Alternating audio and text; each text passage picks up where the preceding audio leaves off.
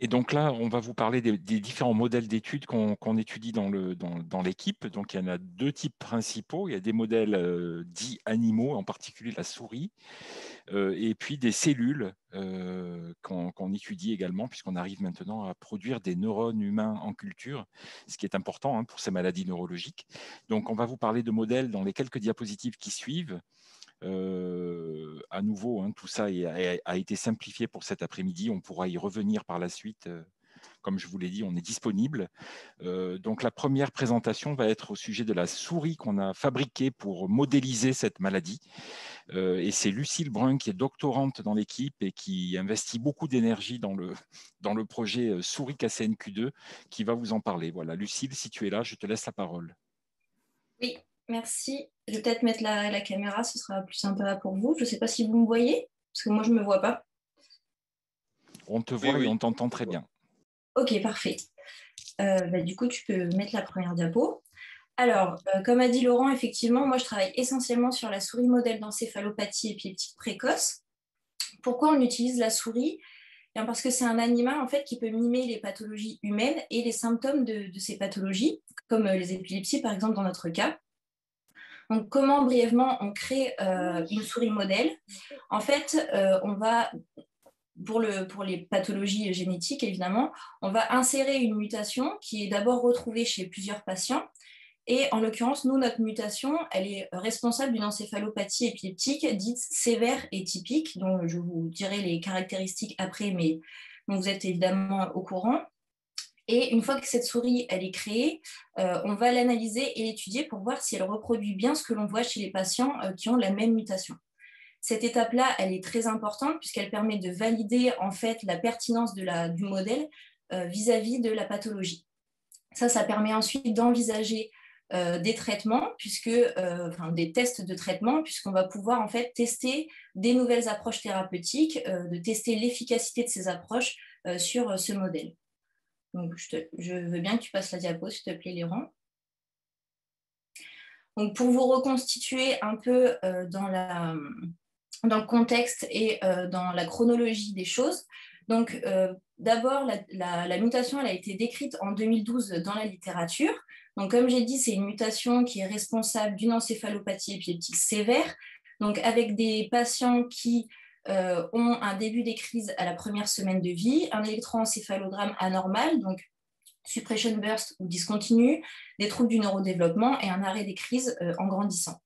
En 2016, on a créé la souris et euh, une fois la souris créée, on l'a analysée et étudiée, comme j'ai dit tout à l'heure, ce qui a permis de faire en 2020 une publication scientifique sur les symptômes communs entre les patients porteurs de cette mutation et notre souris modèle. Il s'avère que notre souris modèle, elle fait des crises d'épilepsie spontanée, donc sans qu'on lui fasse rien, elle, fait des crises. Elle est aussi euh, sujette à une pathologie qui est évolutive, puisqu'elle a un arrêt des crises euh, en vieillissant, et elle a aussi euh, des troubles du neurodéveloppement. Ça, ça a permis donc de valider notre modèle et d'envisager dès cette année, donc 2021-2022, des premiers tests de thérapie euh, qui vont s'articuler en deux axes. Euh, premièrement, euh, des tests de, nouvelles molécules pharmacologiques qui sont intéressantes à étudier. Donc, étudier sur, sur, la souris leur efficacité, mais aussi leur innocuité, évidemment. Et d'autre part, la thérapie génique, donc le fait d'introduire euh, du matériel génétique dans des cellules malades pour les rendre saines. Cette souris, elle est euh, nécessaire et indispensable à nos recherches, mais ce n'est pas le seul modèle, comme a dit Laurent, euh, de, notre, de notre équipe. Donc, je vais laisser mes collègues parler des, des cellules juste après moi qui complètent très bien les résultats obtenus de la souris. Merci. Merci Lucille. Est-ce que vous avez des questions sur cet aspect-là? Oui, je voulais juste savoir, euh, ça, vous, vous, parlez de ce qui se passe chez vous à Marseille. Hein. oui, bien sûr, c'est notre modèle. En fait, nous avons développé le premier modèle d'encéphalopathie épileptique précoce liée à KCNQ2, parce que ce type de modèle n'existait pas en fait euh, auparavant. N'existait pas dans le monde ou euh, en Europe Il n'existait pas du tout, nulle part en fait. Voilà. Il y avait des modèles, mais qui n'étaient pas des modèles qui, au niveau physiologique, reproduisait exactement la présence d'une mutation sur KCNQ2 dans un organisme vivant naturel, entre guillemets, non modifié à l'exception de la mutation de KCNQ2. D'accord, merci. Bonjour, euh, je suis désolée, je n'ai pas saisi le, prénom de votre consoeur qui vient de s'exprimer. Elle s'appelle euh, Lucille. D'accord, Lucille. Bonjour. bonjour. Est-ce qu'il serait possible d'avoir un peu plus d'informations quant au test de thérapie euh, que vous avez mis en place, vos espérances, qu'est-ce que vous attendez de chacun et la différence entre les molécules pharmacologiques et la thérapie génique? Peut-être, je ne sais pas si vous avez prévu dans de l'aborder plus tard euh, je ne crois pas que ce soit prévu plus tard. Peut-être Laurent a envie de dire un mot, euh, mais non, oui, comme tu veux, Lucille, si tu veux répondre. Sinon, je, veux bien euh, commencer et puis tu complètes s'il si, manque des choses. les molécules pharmacologiques, c'est plus du coup des molécules chimiques, hein, de, ce, que, vous pouvez connaître comme médicaments en fait. Donc il y en a déjà sur, sur le marché, mais mais euh, on, aimerait en tester d'autres, peut-être plus efficaces. Euh, et puis la, thérapie euh, génique, comme je dit, c'est d'introduire en fait du matériel génétique pour en fait rendre les cellules malades, les rendre saines.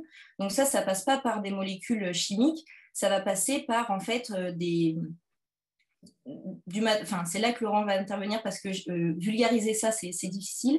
Mais en fait, ça, ça va être de, de, de contrecarrer en fait la, mutation et ses conséquences pour euh, réussir à ce que les, cellules qui sont, qui sont malades euh, deviennent saines. Mais euh, je pense que Laurent l'expliquera beaucoup mieux que moi. Est-ce que la thérapie génique est la médecine de demain? Alors, c'est certainement une solution pour un certain nombre de pathologies, hein, puisque, comme vous le savez peut-être, il y a déjà des maladies génétiques pour lesquelles euh, des, approches de thérapie génique fonctionnent. Euh, ça fonctionne bien, enfin bien, en tout cas, ça, fonctionne pour des tissus qui sont facilement accessibles, euh, comme certaines maladies sanguines, certaines maladies, ça commence à, avoir des résultats intéressants pour des maladies musculaires, etc. Pour, les maladies neurologiques, c'est toujours plus compliqué parce que c'est le cerveau qu'il faut arriver à atteindre, et le cerveau est bien protégé à l'intérieur de, de la boîte crânienne. Il est protégé lui-même par une barrière qu'on appelle la barrière hémato-encéphalique. Donc, ce n'est pas toujours facile d'aller délivrer des médicaments ou des, ou des approches de thérapie génique pour le cerveau. En tout cas, en ce qui concerne KCNQ2, il y a vraiment ces deux types de stratégies qui sont utilisées de façon simultanée, puisque comme, euh, comme vous, comme vous l'a dit Florence et comme vous l'a dit le professeur Mill, euh, ce, ce, KCNQ2, en fait, c'est un canal potassique. Hein, il permet d'échanger du potassium d'un côté à l'autre de la membrane. Et comme pour beaucoup de ces canaux ioniques, il y a des molécules qui existent, qui sont susceptibles d'augmenter leur activité ou d'inhiber leur activité. Donc, il y a la possibilité d'agir de façon pharmacologique sur le canal, et c'est ce qu'on va essayer de faire sur les modèles qu'on développe. Donc, ça, ce sont toutes les approches de pharmacologie, on va dire. Et puis, il y a l'approche de thérapie génique, elle va viser à aller intervenir directement sur le gène lui-même, et en particulier sur le gène qui est porteur de la mutation. Donc, on a des outils un petit peu sophistiqués qui seraient compliqués d'expliquer vraiment dans le détail aujourd'hui mais sur lesquels, si vous êtes intéressé spécifiquement par ces aspects-là, on pourra revenir, hein, on pourra organiser une présentation spécifique si vous le souhaitez, mais on a des outils dans les laboratoires de génétique moléculaire pour aller, en quelque sorte, euh, essayer d'inactiver la mutation de KCNQ2 directement au niveau du noyau de la cellule. Et donc, c'est le deuxième grand type d'approche à côté de la pharmacologie sur lesquels plusieurs laboratoires sont en train de travailler à l'heure actuelle. Et pour faire ça, il nous faut des modèles. Hein, parce que bien évidemment, ces thérapies expérimentales, on ne va pas les tester sur vos enfants. Donc, il nous faut des modèles, il nous faut des modèles cellulaires et il nous faut des modèles intégrés, puisque là, on s'adresse aux, épilepsies, donc à un fonctionnement anormal de réseaux de neurones. Et ces réseaux de neurones, il est très difficile de les reproduire dans une boîte de culture, par exemple, bien que Florence et Cécile vont essayer de vous démontrer le contraire juste après. Mais en tout cas, on ne recrée pas un cerveau euh, dans sa complexité dans une boîte de culture. Donc, on a besoin d'organismes dans lesquels les réseaux de neurones vont se développer et se structurer au cours du développement et de la vie de l'animal, de façon à, quand on arrive avec une thérapie expérimentale, mesurer quels sont les bénéfices, mais aussi quels sont les inconvénients, quels sont les effets secondaires, quels sont les risques. Donc, tout ce travail-là de recherche euh, qu'on appelle la recherche translationnelle, en fait, hein, qui vise à développer dans le cadre d'un laboratoire de recherche un traitement qui sera peut-être poussé jusqu'à un essai clinique chez les patients. Tout ce travail-là a besoin de modèles. Donc la, souris en fait partie. Et le deuxième modèle, c'est un modèle cellulaire. Euh, et s'il n'y a plus de questions, peut-être il y a encore des questions sur cet aspect-là. oui, j'ai une petite question. Dites-moi, est-ce que les thérapies géniques ne pourraient pas être appliquées pour justement le gène KCNQ2 Parce que vous, vous disiez que les thérapies géniques étaient plus compliquées au niveau du cerveau parce que c'était plus difficile d'accès. Euh, mais en tout cas, moi, ce que je sais de, des informations en tout cas, qui viennent de Pologne, c'est que le, euh, le, le, docteur Zambek, euh, Mirosław, Zambek, a commencé justement à faire des thérapies géniques pour une maladie qui s'appelle la AADC qui est une, une, une, une maladie neurologique, ouais, qui est une maladie neurologique.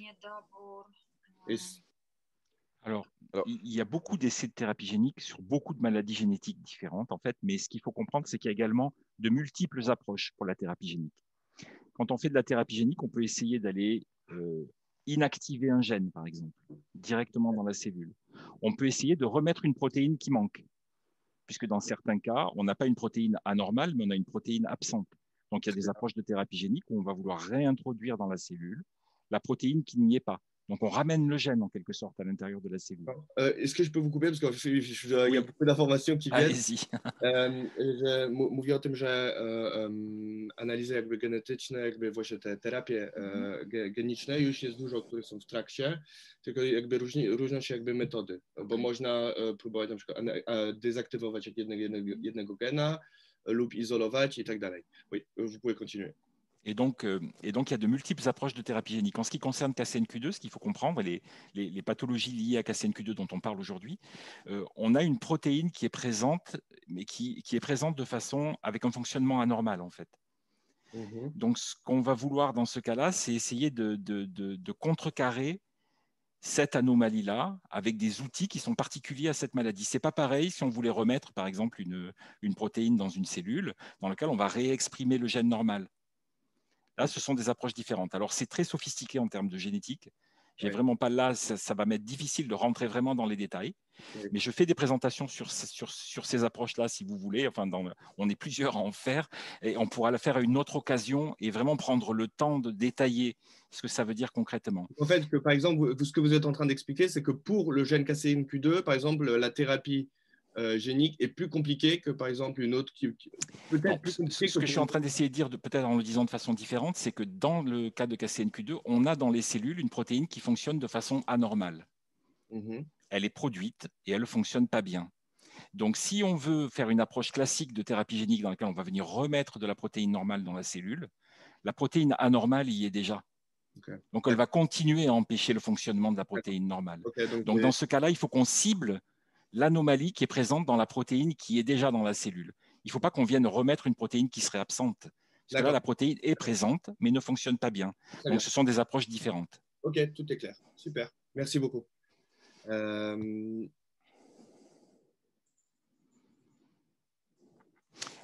Et donc, on peut maintenant, s'il n'y a plus de questions, parler de la deuxième. Donc là, Lucille vous a présenté le modèle euh, animal. Oui. J'aurais une toute euh, dernière question. Oui. Par rapport aux, différents similitudes par rapport aux patients et à, cette souris, on parle de symptômes communs.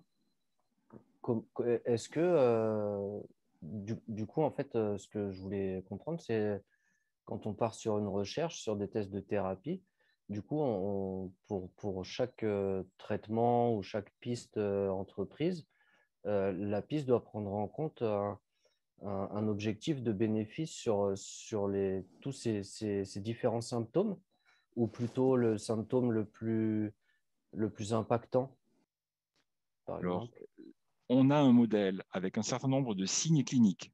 On sait que cette souris, elle fait des épilepsies. On sait qu'elle a des anomalies neurologiques. On sait qu'elle a des crises qui disparaissent au bout d'un certain temps.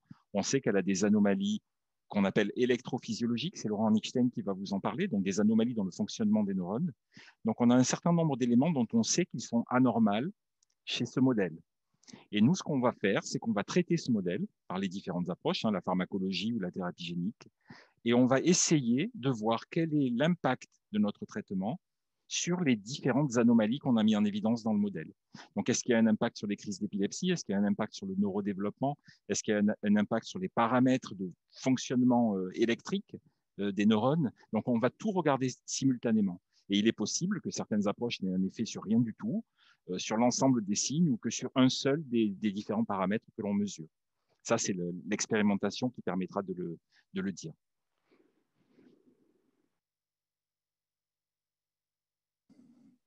Alors, on va passer au deuxième type de modèle qu'on utilise, et celui-là fait appel directement à des ressources dont certaines sont issues de, certains de vos enfants, hein, puisque là, on va parler de cellules humaines. Euh, et ce modèle, c'est ce qu'on appelle les cellules IPS. Donc ça, je vais laisser euh, Cécile Mignon-Ravix, qui est ingénieure de recherche dans l'équipe, et Florence Molinari, qui est chercheur à l'INSERM, euh, également dans, dans, notre équipe, vous parler de ces cellules IPS. Donc Cécile et Florence, je vous laisse prendre la main bonjour euh, tout le monde. Donc, je vais commencer et vous parler d'un deuxième euh, modèle, donc après le premier modèle qu'a présenté Lucille. Donc, euh, en introduisant un petit peu les, faits qui ont conduit à la création de ce modèle. Donc, en fait, comme on a dit, les encéphalopathies épileptiques sont des pathologies du cerveau et l'une des difficultés que l'on rencontre dans l'étude de ce type de pathologie, c'est qu'on ne peut pas travailler directement sur, euh, sur les cellules humaines malades pour étudier les mécanismes cellulaires qui conduisent à la pathologie. Donc, euh, en effet, à la différence des pathologies musculaires pour lesquelles on peut réaliser des biopsies de muscles, il est impossible de prélever des, cellules du cerveau humain euh, chez, le patient. Et donc, c'est pour ça qu'un certain nombre de modèles ont été mis au point. Donc, par exemple des modèles animaux, comme a présenté Lucille, ou des modèles euh, cellulaires. Et euh, dans ces modèles, on a pu par exemple introduire au niveau de l'ADN une mutation qui était connue pour être euh, associée à la pathologie.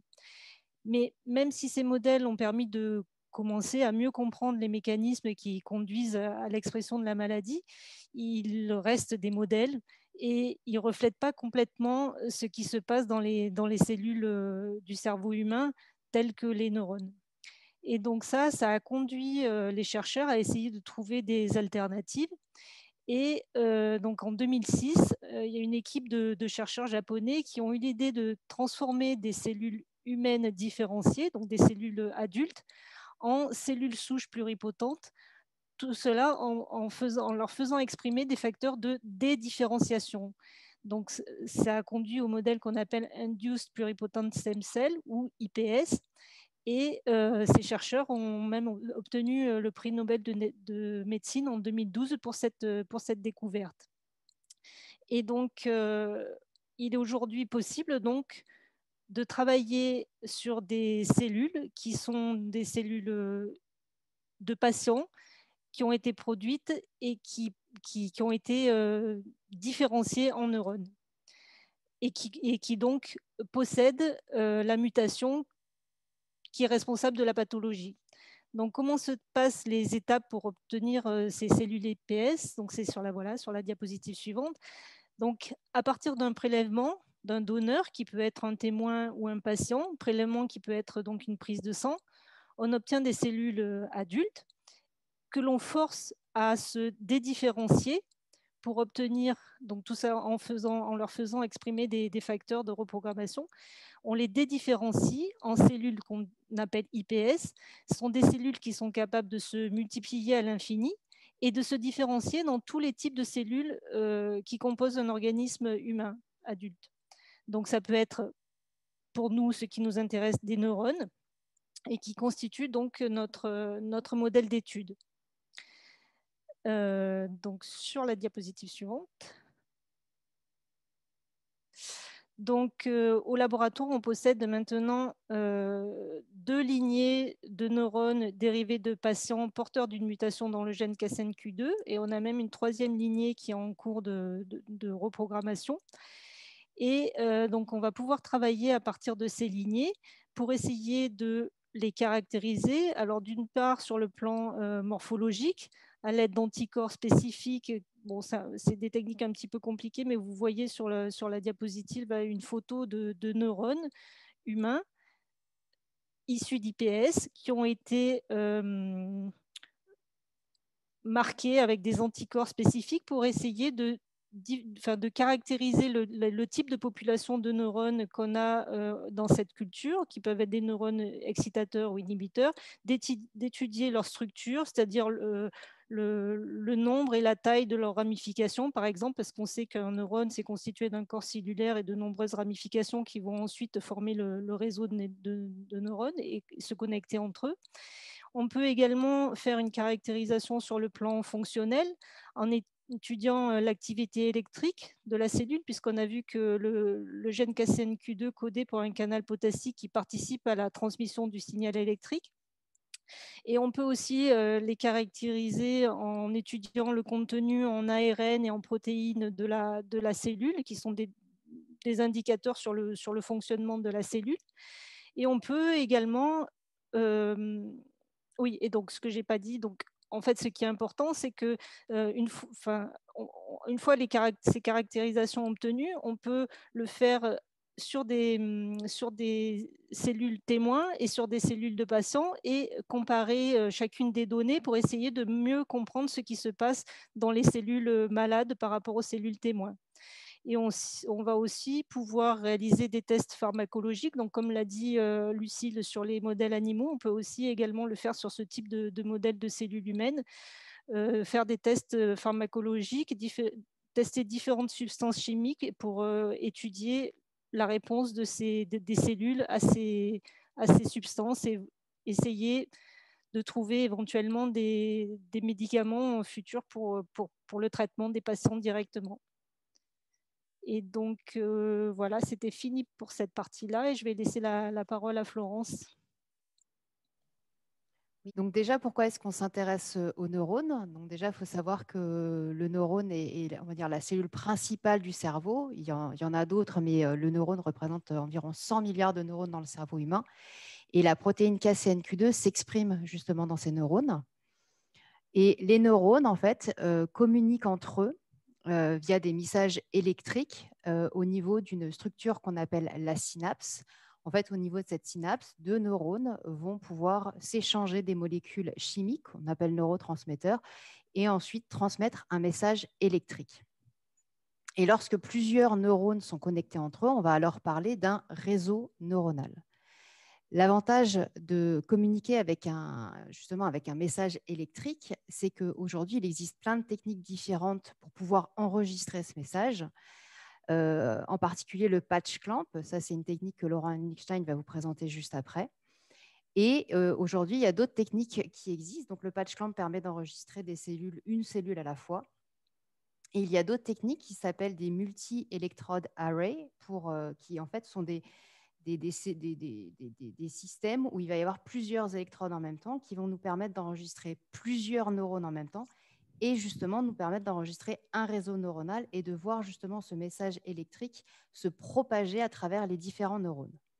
Donc sur la diapositive d'après, euh, en fait, nous avons pu déposer en fait une demande de financement à la région Sud euh, en 2020, financement que nous avons réussi à obtenir. Et grâce à un cofinancement entre la région et l'unité Marseille Medical Genetics, nous avons pu acheter un, MEA, donc un multi-électrode arrêt, qui va pouvoir nous permettre d'enregistrer les neurones dérivés d'IPS, donc les cellules que Cécile vient de vous présenter. L'avantage de ce MEA, c'est qu'en fait, c'est une sorte de mini-incubateur portatif, c'est-à-dire que l'on peut mettre nos cellules à l'intérieur. Les cellules vont avoir tout l'environnement qu'il leur faut pour bien se développer. Donc, en fait, nous, en termes de, culture, on va garder le même type de culture. Et euh, la seule différence qu'il va y avoir, c'est qu'on va utiliser des plaques, euh, comme vous pouvez le voir, qui vont de 6 à 96 puits. Et dans chacun de ces puits, il va y avoir des électrodes, entre 8 et 64 électrodes. Donc, vous avez bien compris que plus il y aura d'électrodes, plus on pourra enregistrer un réseau neuronal dense. Et la dernière photo, celle de droite, en fait, ce sont les petits points brillants que vous voyez, ce sont les corps cellulaires des neurones. Et vous voyez les neurones, comment ils sont petits par rapport aux électrodes. Et chacune de ces électrodes va nous permettre d'enregistrer l'activité électrique de ces neurones et donc de tous les neurones répartis sur toute la surface de culture. L'avantage de ce système, c'est que nous allons pouvoir réaliser des enregistrements à plusieurs temps sur plusieurs semaines. Donc, on va pouvoir voir l'évolution de ces neurones. On va pouvoir donc les caractériser en termes d'activité électrique. On peut également observer ces neurones au microscope et donc vérifier leur morphologie également.